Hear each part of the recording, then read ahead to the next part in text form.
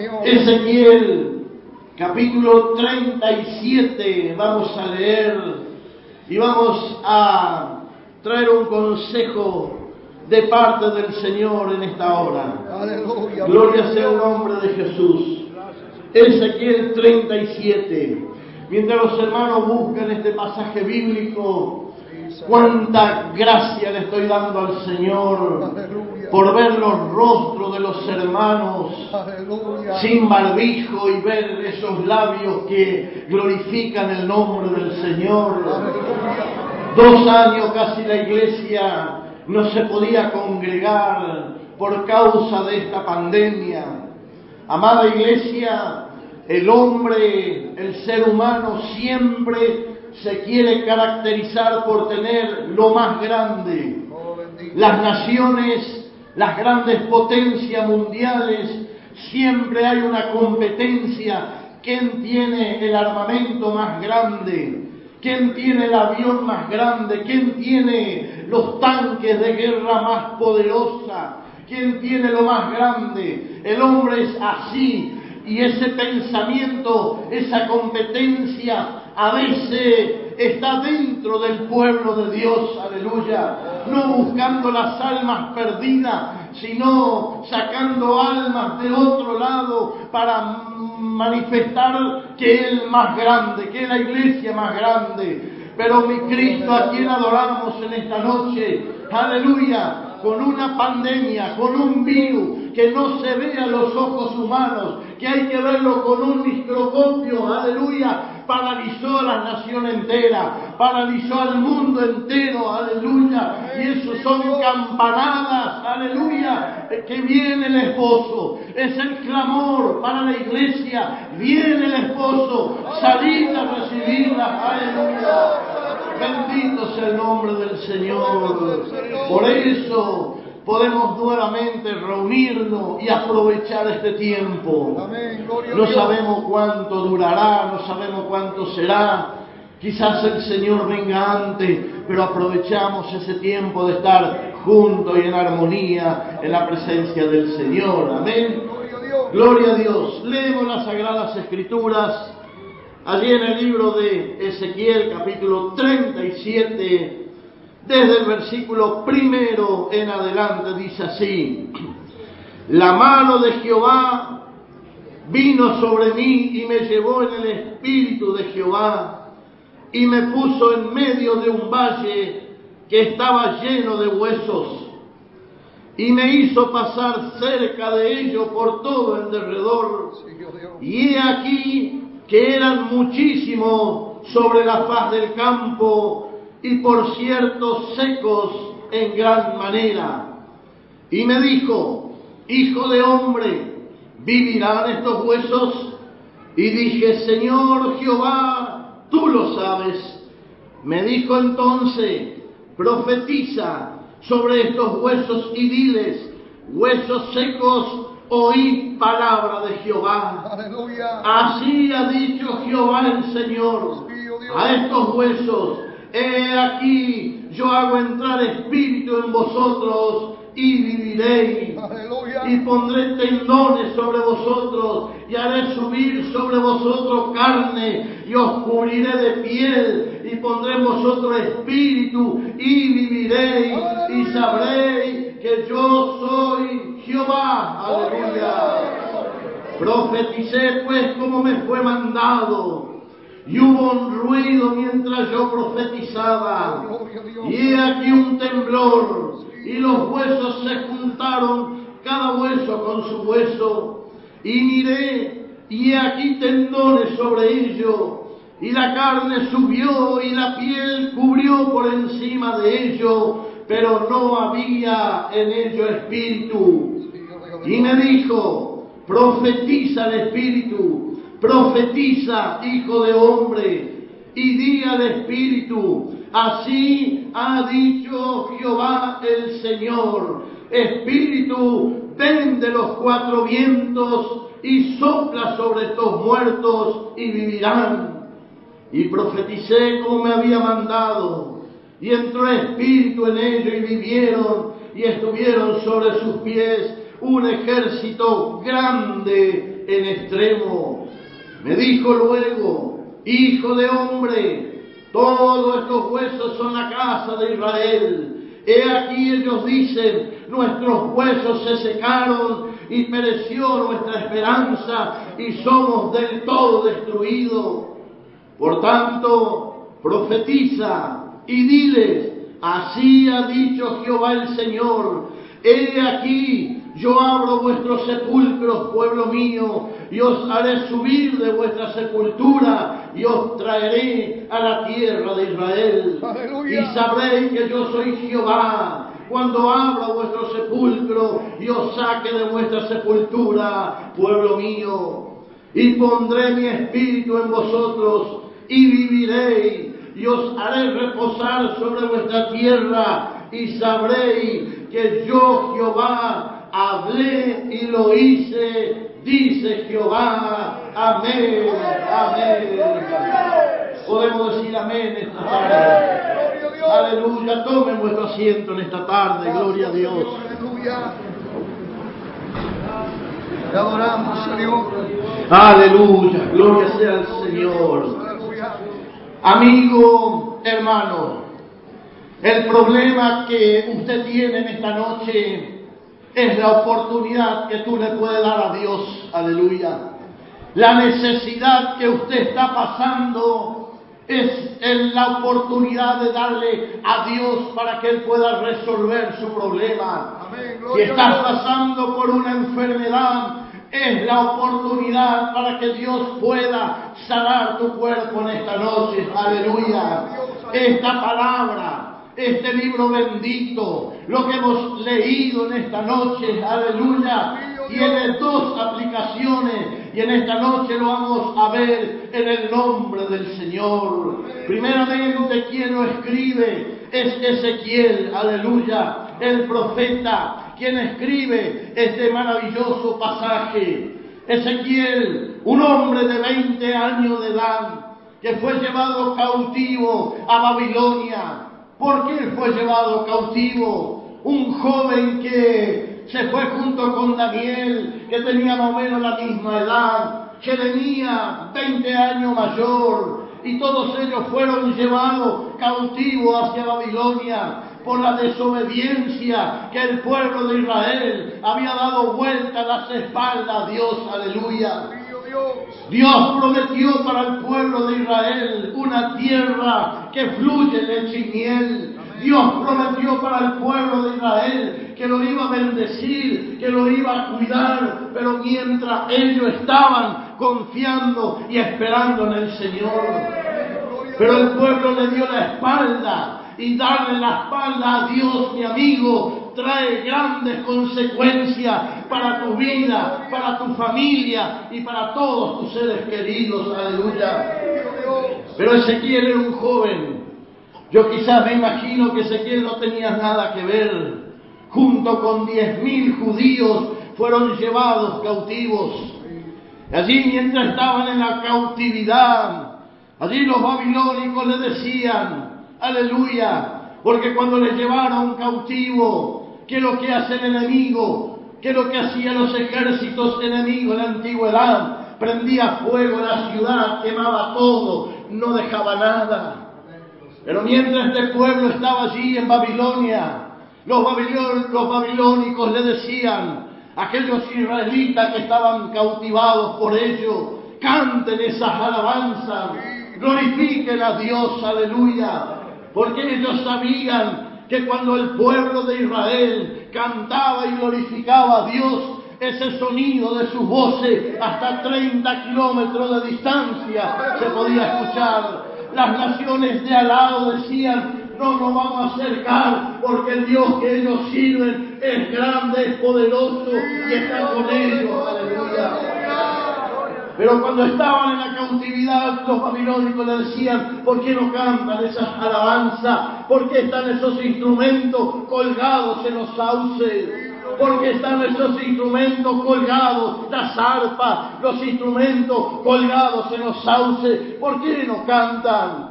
Pero ellos con tristeza en sus corazones ¿Cómo vamos a cantar si estamos presos y nuestra ciudad está quemada? Nuestras las puertas fueron destruidas. Aleluya. Por eso el hombre que está cautivo por el diablo jamás puede alabar y bendecir el nombre del Señor.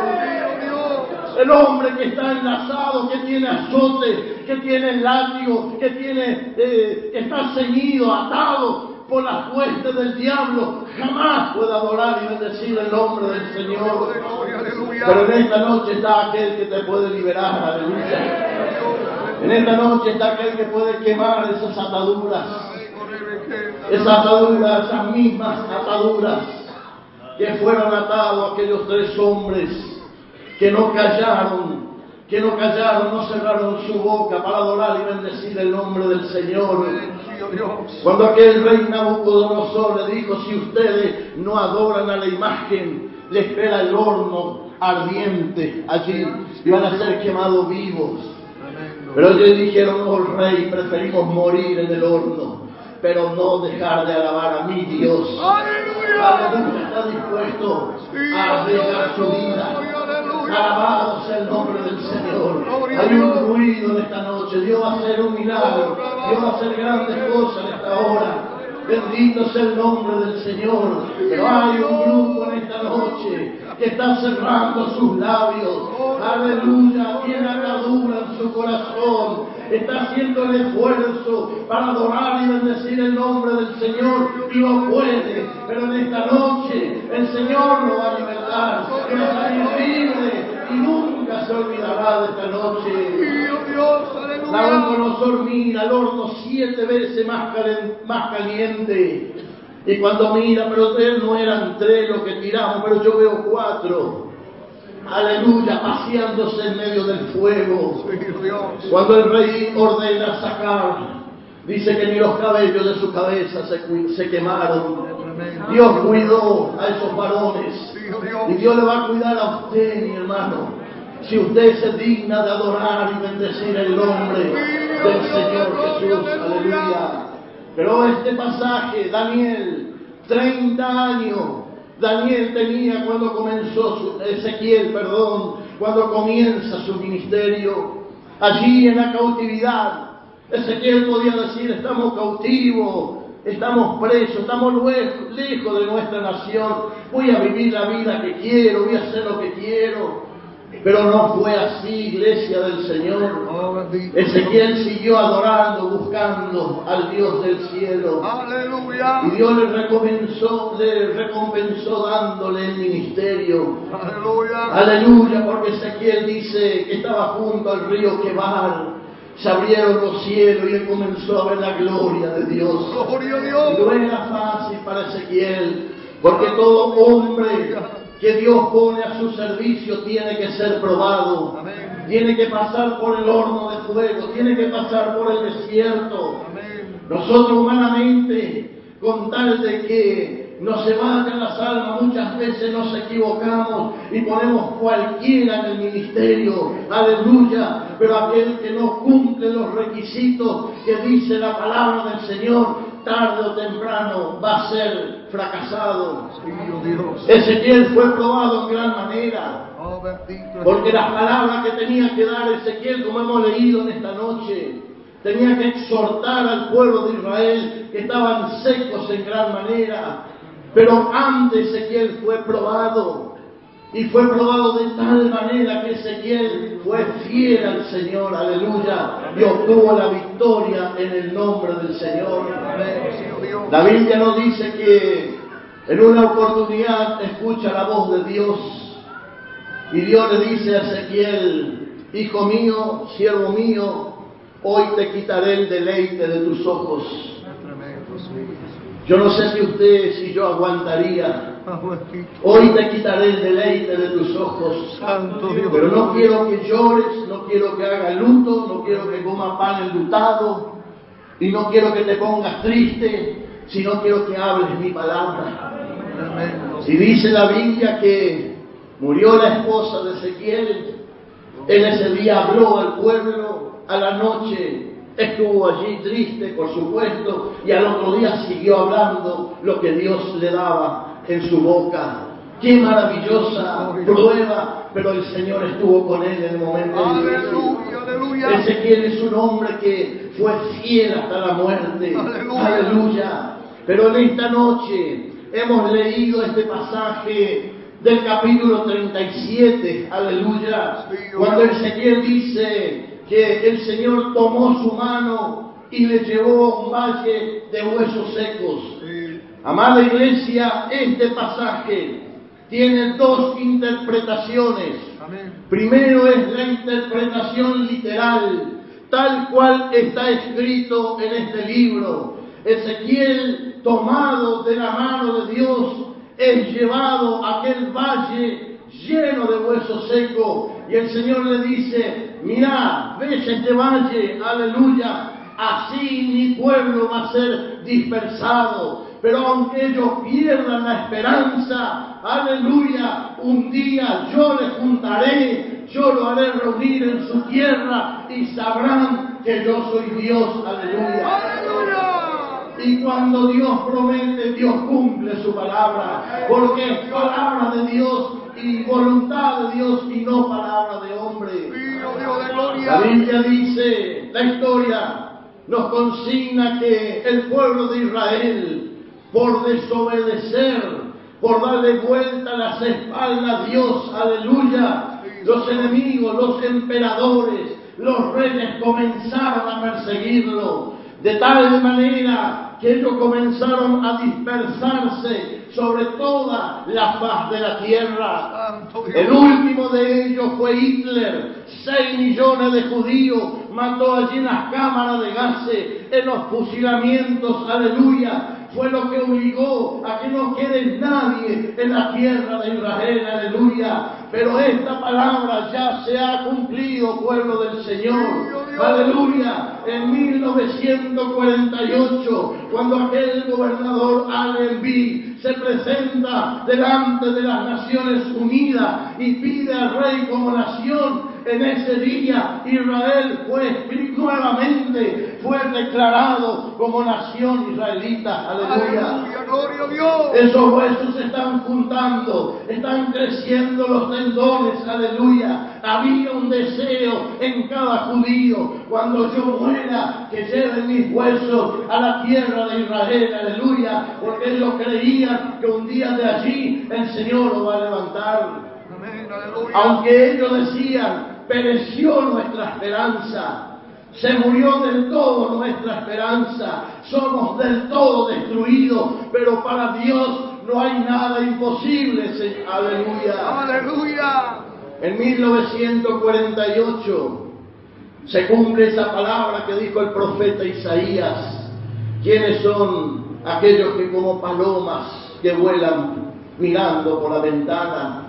Toda una nación entera se vuelve a congregar en la tierra. Todos se vuelven a congregar hasta que se constituyó nuevamente nación. Y lo que hemos leído, esta profecía de Ezequiel, ya se ha cumplido. Falta una cosa, ya subió la carne, subió los tendones. Falta una cosa, falta el derramamiento del Espíritu Santo. Pero eso sucederá cuando el Señor pose sus pies allí en el monte de los olivos. Aleluya. Falta muy poquito. Alabado sea el nombre del Señor. Ellos están allí ahora. El Señor los ha bendecido, el Señor los guarda, porque es un pueblo escogido y es un pueblo adquirido por Dios. Aleluya. Bendito sea el nombre del Señor. Pero ahora, yo pregunto en esta noche, quizás usted se preguntará, pero ¿qué tiene que ver esta historia con el problema que yo tengo? ¿Qué tiene que ver el pueblo de Israel con la situación que yo estoy pasando? Aleluya. Pero este pasaje también lo podemos llevar al plano espiritual. Dice la palabra del Señor que y Ezequiel, tomado por la mano de Dios, es llevado a un valle lleno de huesos secos. Aleluya. Aleluya. Qué lindo que es ser tomado por la mano de Dios. Amén. ¿Quién está tomando tu mano en esta noche? ¿Quién Aleluya. te sostiene tu mano? Aleluya, el salmista David dice, Jehová es el que sostiene mi mano. Aleluya, Qué lindo es aleluya. estar en las manos del Señor. Mío Dios. Por eso tenemos motivos para adorarle y para bendecirle. Aleluya. Y dice, tomado es llevado un valle de huesos secos. Aleluya. Sobre el campo, sobre la faz del campo. Cuando miramos en la Biblia, ¿qué significa el campo? El campo, Jesús lo explicó a sus discípulos. Cuando los discípulos le dijeron al Señor, Maestro, ¿por qué tú nos hablas por parábola? Y el Señor le dijo, porque a vosotros les dado a conocer los misterios del reino de los cielos y a ellos no, aleluya. Cuando el Señor le explicaba la parábola de la siembra. Pero ¿qué significa también los huesos? ¿Qué significado tiene para usted un hueso? Vamos a llevarlo al plano espiritual. Cuando usted va por el campo y ve una cabeza de vaca, ¿qué para usted significa? Cuando va por la orilla en la ruta y ve un perrito que agarraron, un auto y se murió, están los huesos, y usted mira esos huesos, ¿qué significado tiene para usted?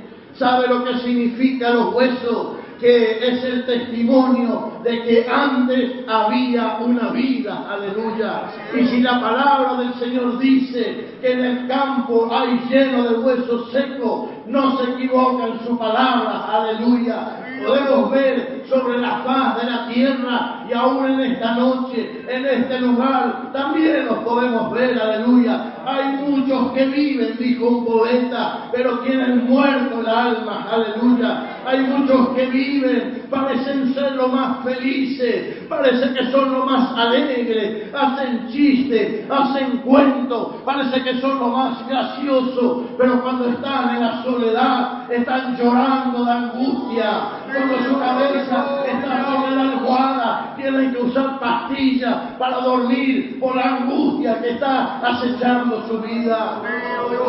Están secos espiritualmente, pero Dios vino para dar vida y vida en abundancia.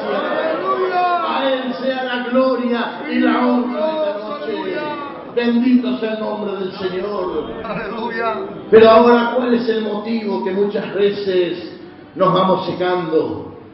Porque esta palabra viene primeramente para mí, va para el pueblo, para todo, para los jóvenes, para los ministros. No estamos exentos a secarnos, a perder ese fervor en el espíritu. ¿Ante quién te paraba para venir al culto?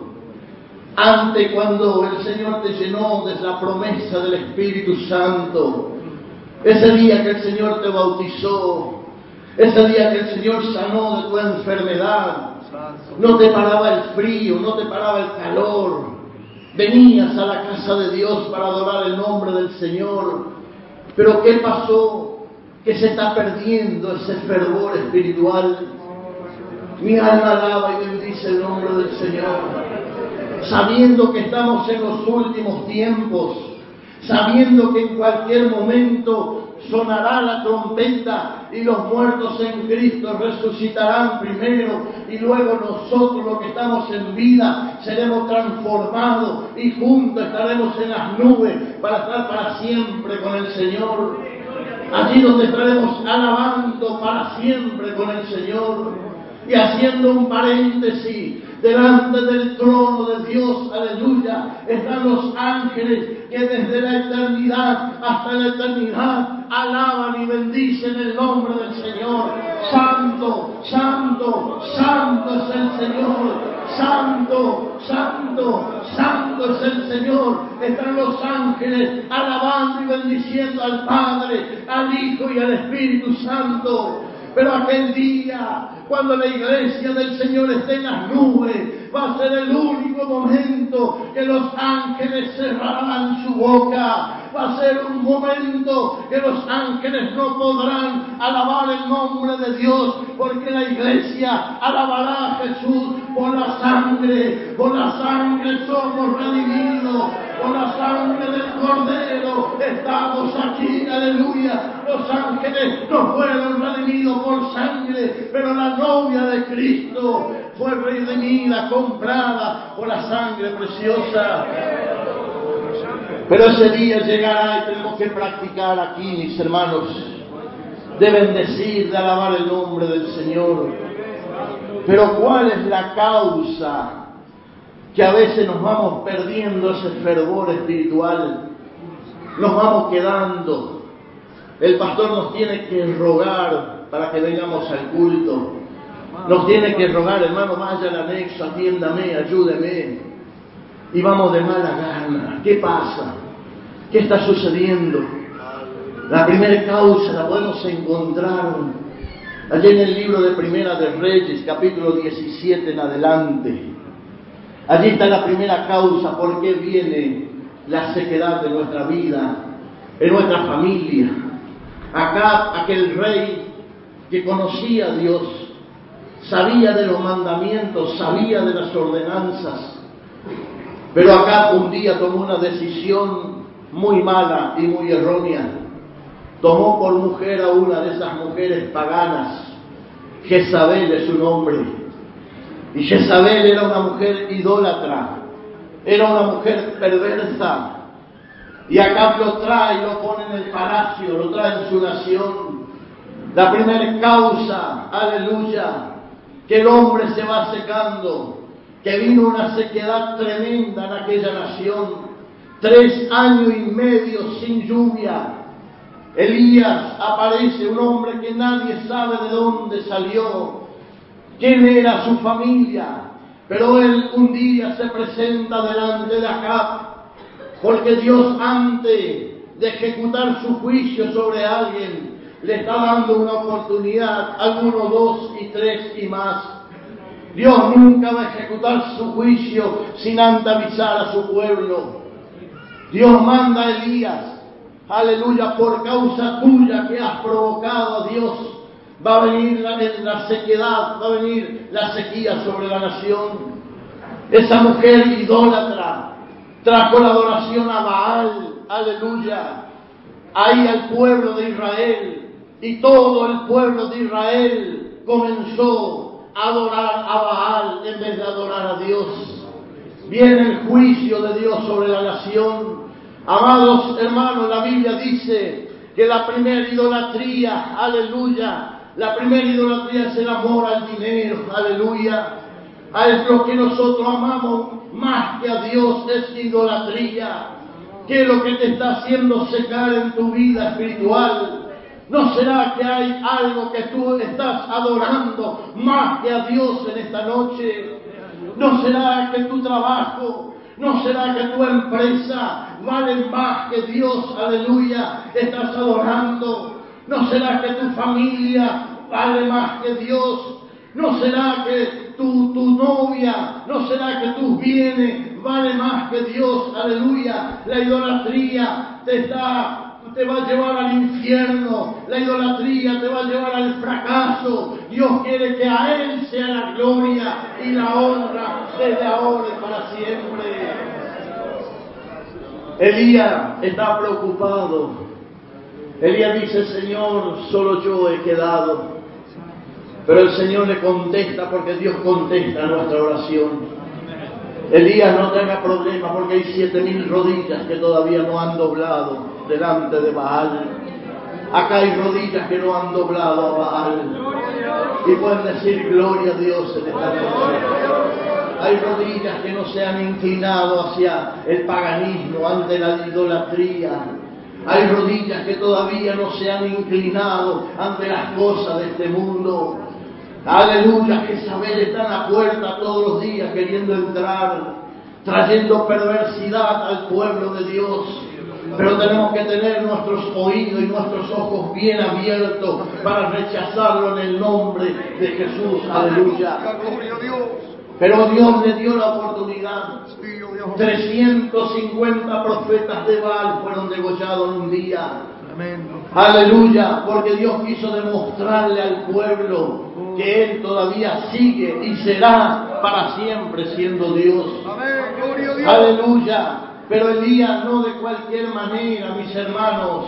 Aleluya. Se presentó delante del pueblo para demostrar la gloria de Dios. Elías primero tuvo que arreglar el altar. Y en esta noche estamos aquí para arreglar el altar.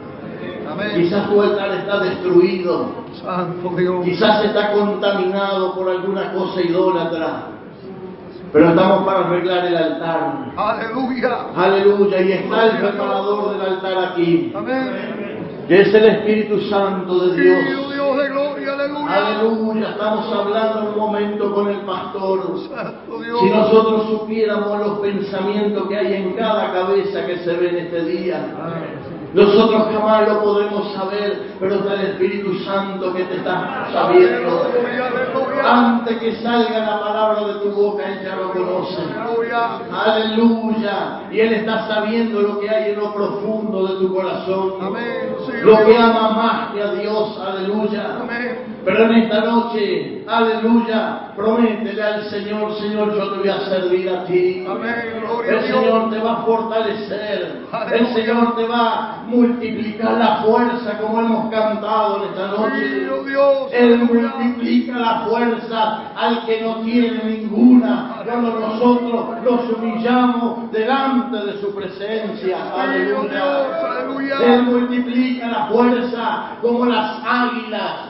Tomarán sus alas y volarán sobre toda la tormenta, sobre toda la, la tempestad. Aleluya. Amén. Las águilas cuando ven las nubes, los truenos, las lluvias, ellos toman vuelo y se van del otro lado de la tormenta y vuelan tranquilamente mientras abajo se está desarmando la tormenta. Sí, oh Dios. Pero ese hace mi Dios para ti si tú te humillas en esta noche. Amén. Pero a veces no queremos ser águila. A veces parece que somos esos pingüinos. No queremos volar estamos ahí, cuac, cuac, cuac, cuac. No queremos volar, viene el lobo, el flac te come. Y es grande el desastre y la tragedia. Oh Pero dice, serán como águilas. Levantarán sus alas, correrán, no se fatigarán. Oh. Caminarán y no se cansarán. Aleluya. Que vale la pena ponerse en las manos del Dios. Señor. Aleluya. El dinero es la mayor idolatría en estos últimos años.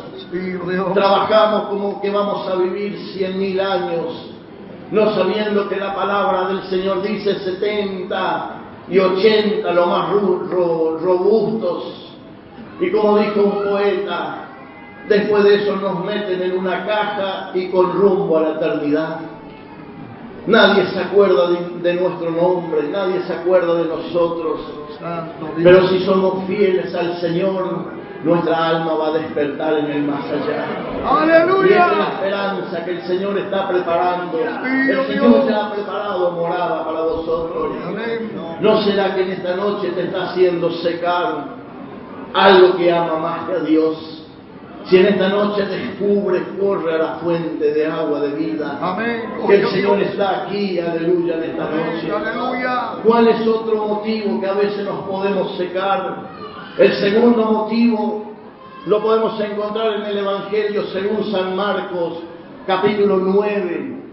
Jesús estaba allí con sus discípulos. Jesús demostró su gloria ante Pedro, Jacobo y Juan, que los llevó aparte. Se transfiguró delante de ellos. La Biblia dice que las vestiduras del Señor fueron tan blancas que ningún lavador de esta tierra lo podía emblanquecer de esa manera. Aleluya. Su rostro era como rostro del sol, refulgente, brillaba como un bronce bruñido. Aleluya. Aleluya. Apareció Moisés y Elías y el Señor platicaba con ellos. Estaban los discípulos tan gozosos porque cuando sentimos la presencia del Señor no miramos nuestro enemigo el reloj, aleluya. Queremos estar siempre, todas las horas, que el Señor bendiga nuestra vida, aleluya. Alabado sea el nombre del Señor.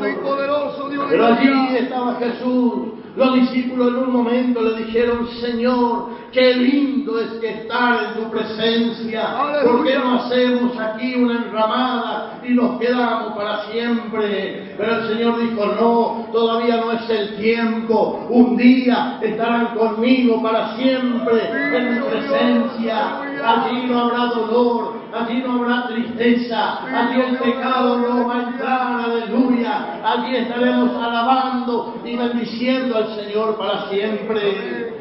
Alabado sea el nombre del Señor. Dios, Pero. ¿qué sucedía cuando el Señor estaba con estos tres discípulos?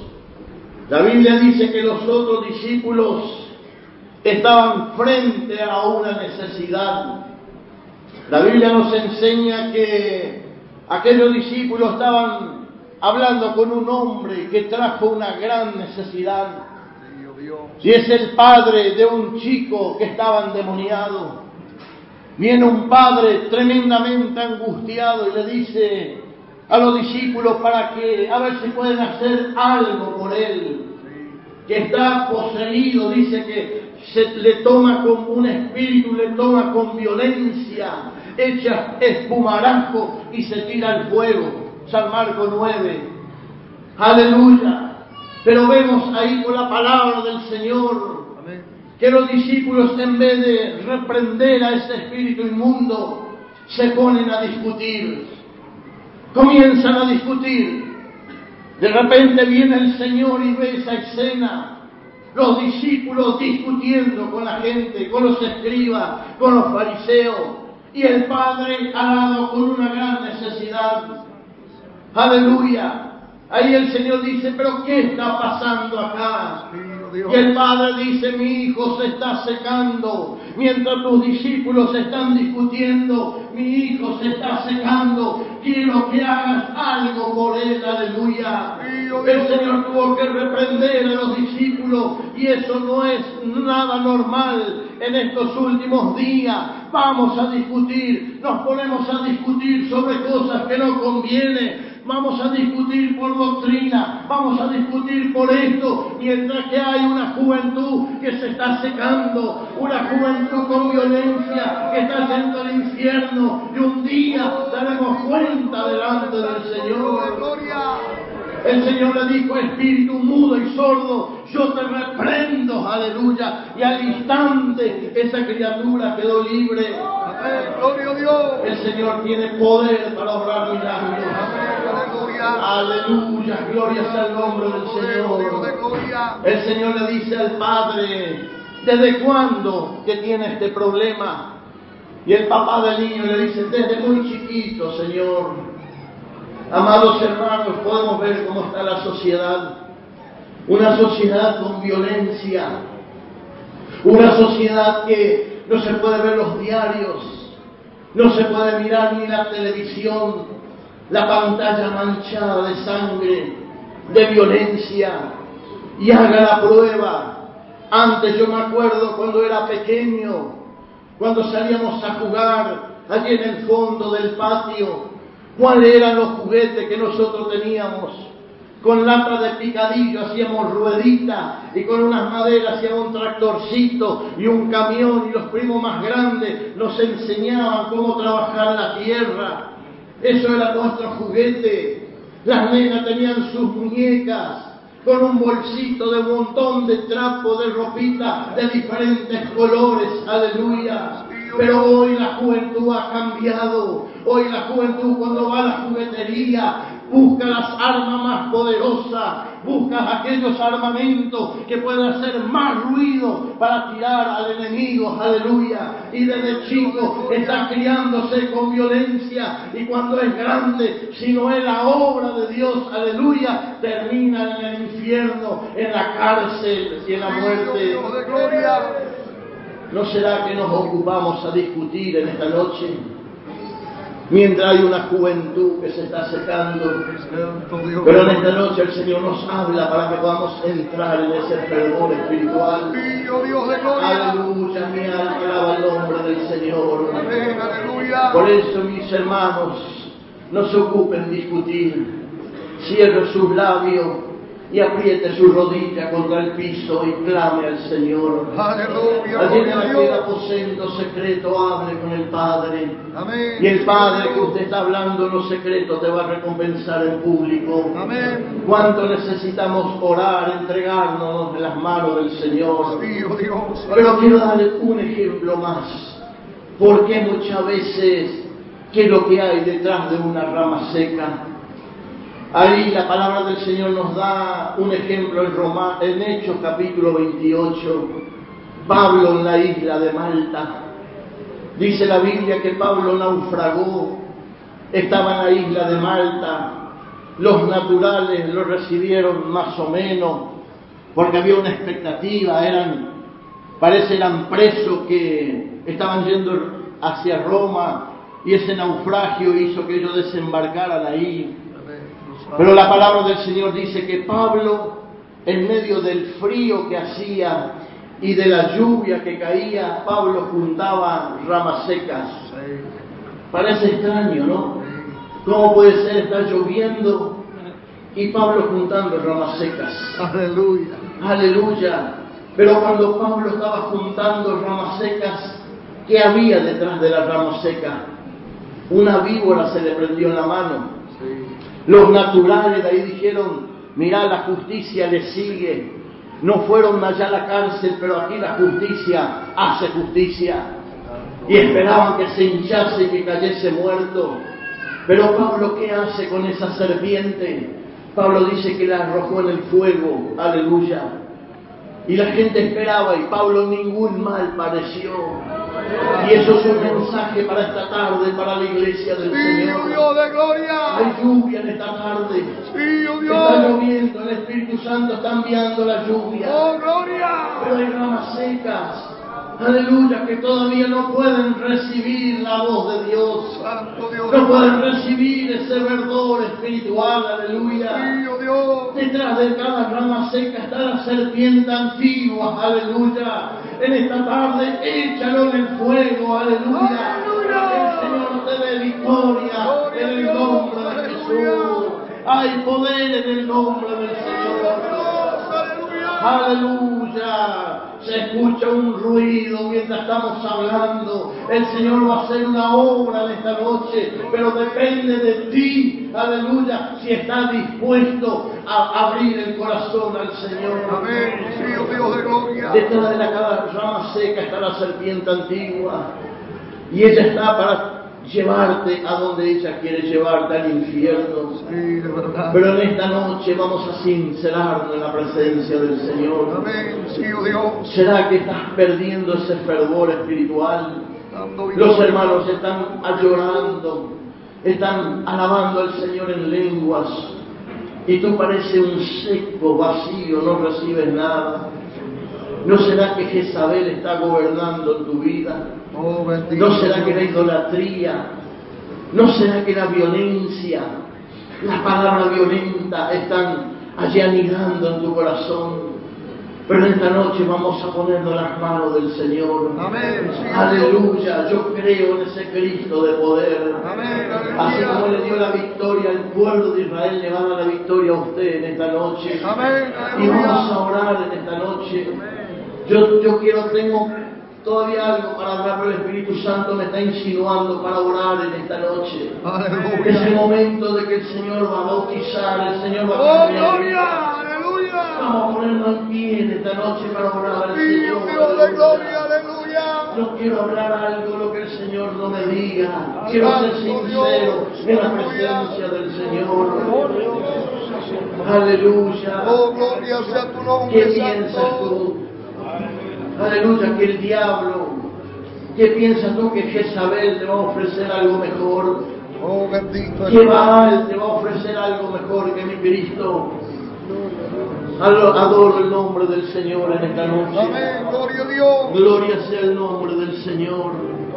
Qué grande es tu poder. En una de nuestras iglesias, hace un tiempo atrás, una joven muy temprano, una jovencita apareció allí en la puerta. Una joven que desde los 6 años hasta los 14 años, su propio padre día a día lo violaba. Y cuando él venía tan borracho, aleluya, no podía hacer nada con ella, lo traía y su tío, delante de la vista de ellos, jugaban con esa criatura.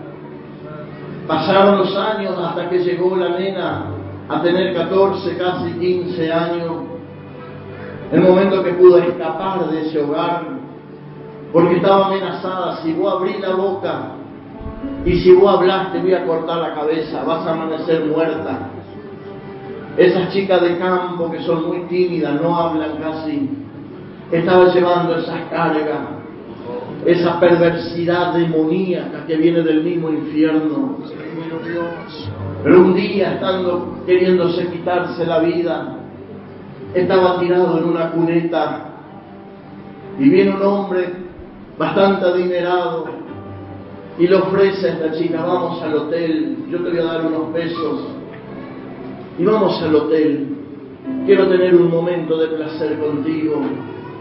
La nena todo sucia, allí ya borracha porque ya aún en la noche habían abusado también de ella, abusándole, aprobando que estaba borracha. Ella dice, bueno, y no me queda otra y se fue a un hotel de mala fama. Y allí estuvo con este hombre mayor, el hombre jugó de ella nuevamente. Y cuando ella se quedó total, ese hombre, ese viejo, se quedó totalmente dormida, dormido, esta mujer dijo, ¿qué hago? Me escapo y me quito la vida. Me voy a cortar las venas. No quiero vivir más, no quiero llevar más esta carga, ese vacío espiritual que tengo. Y allí en ese mismo hotel, en la mesita de luz, había una radio, una radio pequeña, esas radiecitos de bolsillo, que se ve que alguien se había olvidado. Y esta joven, mientras el viejo estaba ahí roncando, durmiendo, aleluya, ella prendió la radio en esa oportunidad. Cuando enciende la radio puede escuchar, pecador, ven al dulce Jesús y feliz para siempre será. Si en verdad le quisiere tener al divino Jesús allá. Ven a él, ven a él, es quien quiere ser tu Salvador.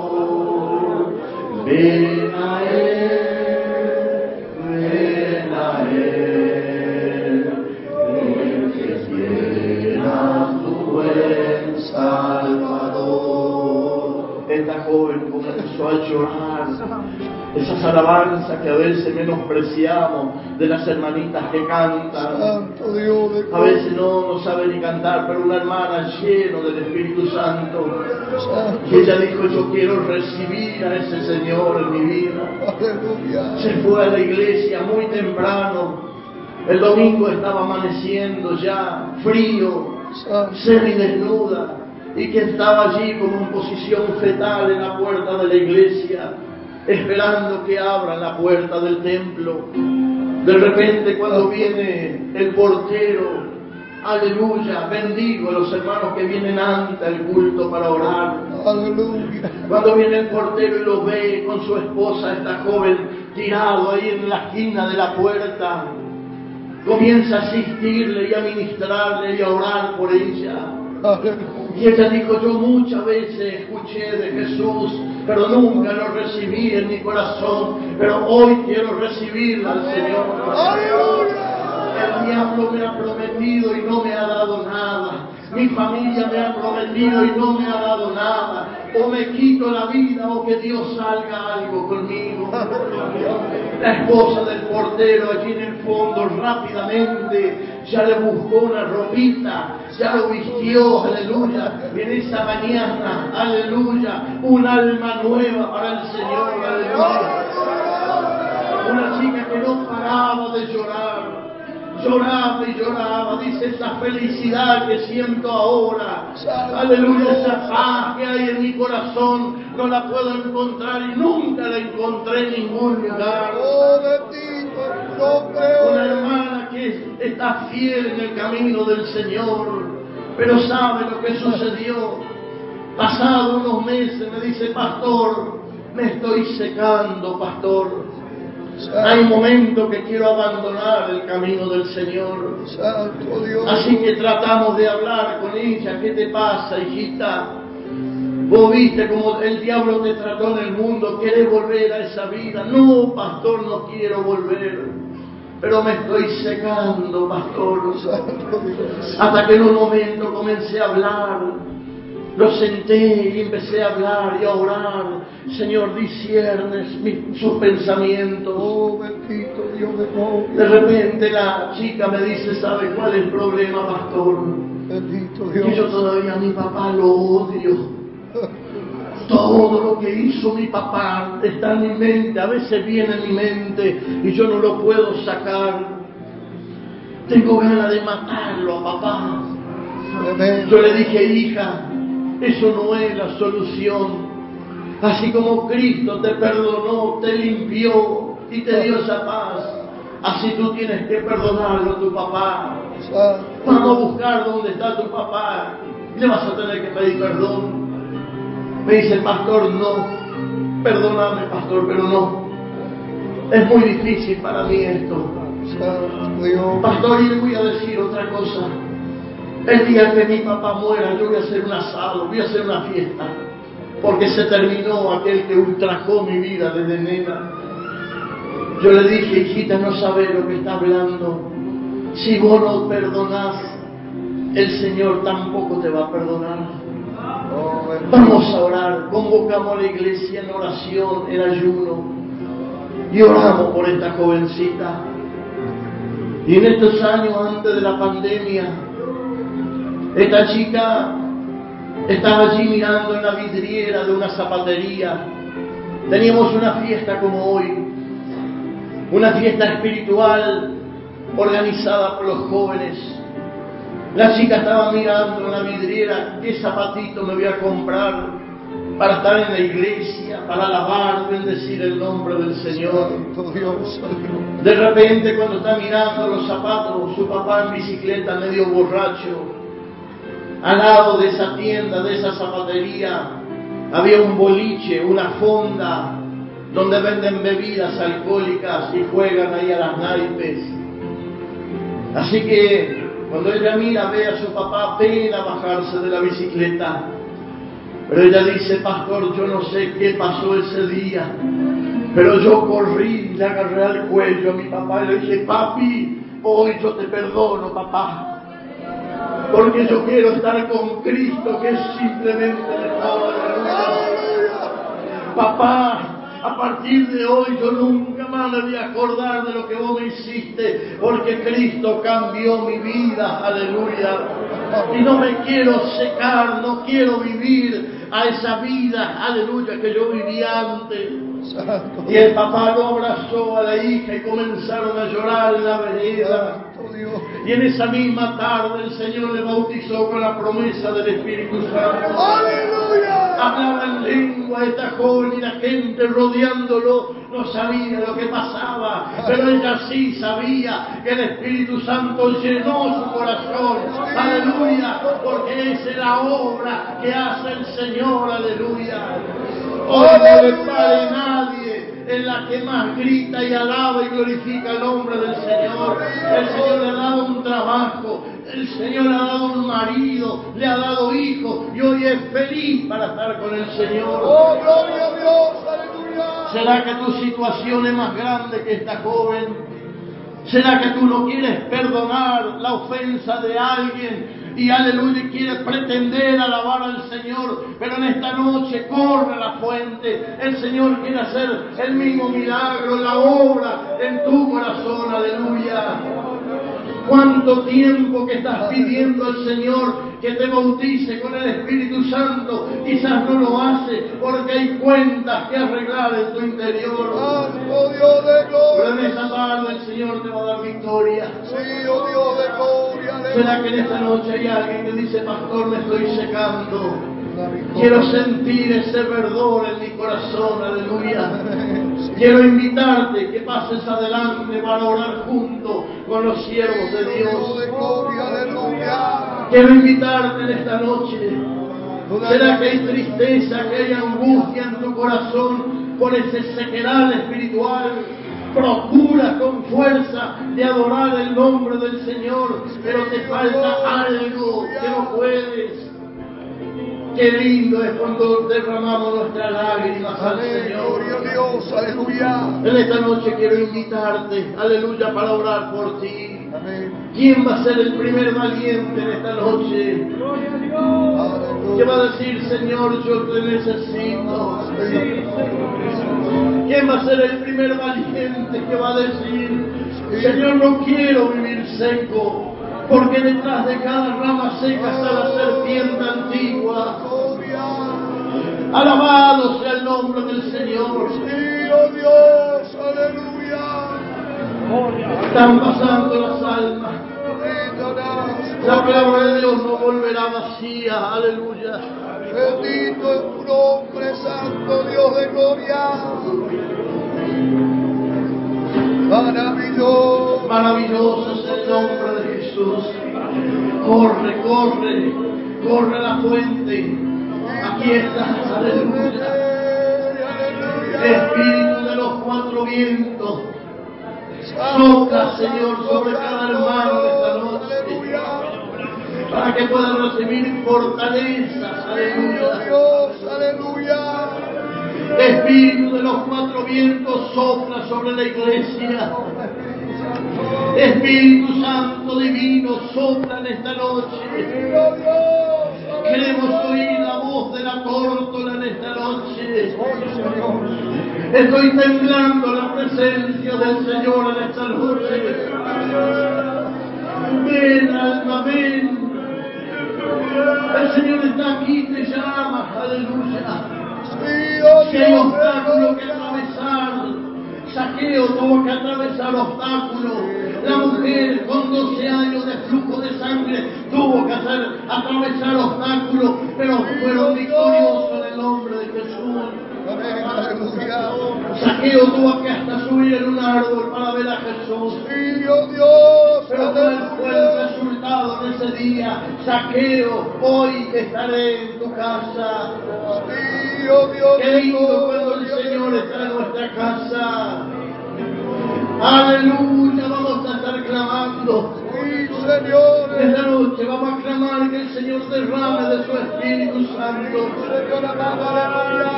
Que el Señor derrame de Espíritu Santo y fuego, aleluya. Dios de gloria. Que el Señor pueda hacer reverdecer, aleluya, nuestra vida espiritual. Vale la pena servirle al Señor. Amén. Decirle no al mundo y sigo a Cristo, aleluya. Pecador, ven al dulce Jesús. Él es tu médico. Él es tu sanador. Él es el que toma de tu mano derecha si estás caído. Aleluya. Quiero esperar un minuto más. Un minuto más. Porque hay almas. El Señor me está diciendo en esta noche, hay almas que tienen que arreglar su cuenta. El mañana no es nuestro. No diga mañana, en el otro culto, no sabemos si vamos a llegar. No tenemos la garantía si vamos a llegar a nuestros hogares. O el Señor viene o la muerte nos sorprenderá. Pero en esta noche que pueda arreglar tu vida con el Señor, aleluya. Ven a Él, ven a Él. Y. Bendita a los ministros que están autorizados en poner las manos. Amén, a aleluya. invitar a los obreros de la iglesia que pasen para orar por esa necesidad. Son muchos los jóvenes, muchas las almas que están al frente. Son muchos los necesitados. Esta chica parece que no había esperanza. Israel dijo, no hay más esperanza para nosotros, pero hoy están en su tierra, aleluya. Hoy el Señor te va a dar la victoria. Vamos a orar esta noche con fervor. Vamos a clamar ante su presencia. El Señor está aquí, te llama. Él ya pagó el precio. Ven a Él, ven, ven a Él, que te está esperando con los brazos abiertos. En el nombre de Jesús de Nazaret, aleluya.